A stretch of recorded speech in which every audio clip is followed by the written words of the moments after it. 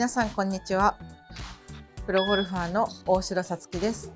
今日はユーティリティの打ち方についてご紹介したいと思います。実は私もユーティリティはあんまり得意ではなくてできれば使いたくないと思ってます。なので私はユーティリティを打つときは少し足をオープンにして打つようにしてます。ユーティリティはどうしても捕まりやすいクラブなので左に行きやすくてあまり得意ではないんですけどオープンにして打った後の抜けを良くすることであまりドローかからなくてうまく打てるようになりました。実際打ってみます。普段はこれぐらいのちょっと分かりにくいと思うんですけど向きで構えるのを少し左足を引いてアドレスします。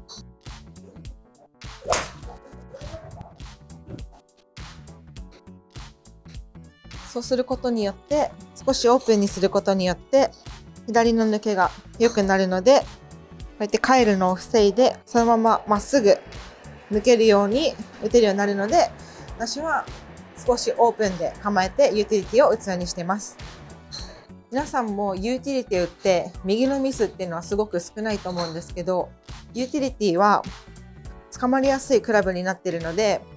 ドローが出やすくてえ左のミスが多いクラブになってると思います。なので私は少しオープンにしてフェードを打つイメージで打つようにしています。